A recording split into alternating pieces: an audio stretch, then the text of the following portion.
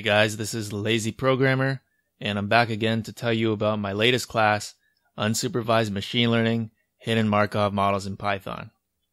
Hidden Markov models are all about learning sequences.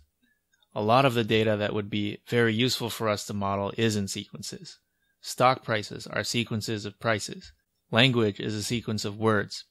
Credit scoring involves sequences of borrowing and repaying money and we can use those sequences to predict whether or not you're going to default.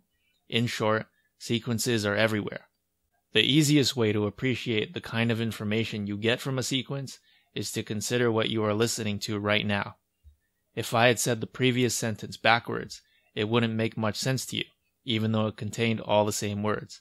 So order is important.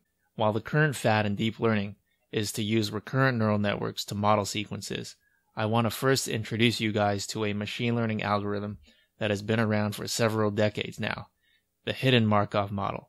This course follows directly from my first course on unsupervised machine learning for cluster analysis, where you learn how to measure the probability distribution of a random variable.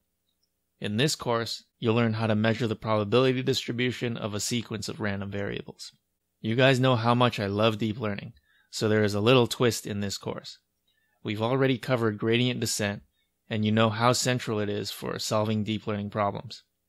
I claim that gradient descent could be used to optimize any objective function.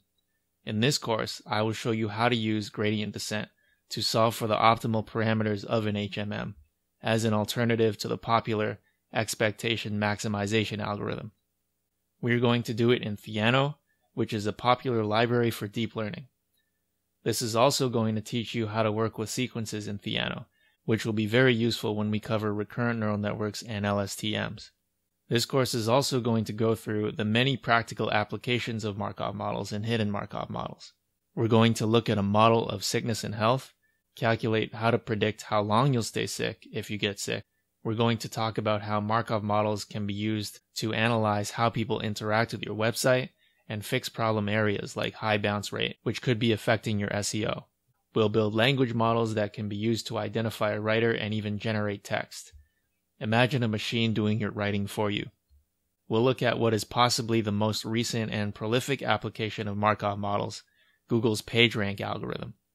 And finally, we'll discuss even more practical applications of Markov models, including generating images, smartphone auto suggestions, and using HMMs to answer one of the most fundamental questions in biology. How is DNA, the code of life, translated into physical or behavioral attributes of an organism? A lot of exciting stuff ahead.